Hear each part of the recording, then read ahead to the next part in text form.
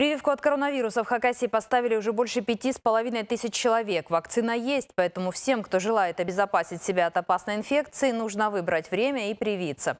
Напомним, что на процедуру нужно заранее записаться. Самый удобный способ на сайте госуслуг через личный кабинет. На стартовой странице есть соответствующий баннер. Здесь же можно выбрать медицинское учреждение, в котором будет удобно поставить прививку.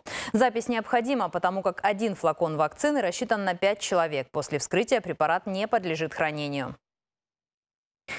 Что касается статистики, то за минувшие сутки положительных тестов на ковид 51, выздоровлений 87. Прибавился еще один летальный случай. Всего на сегодняшний день умерших с подтвержденным диагнозом коронавирус 394.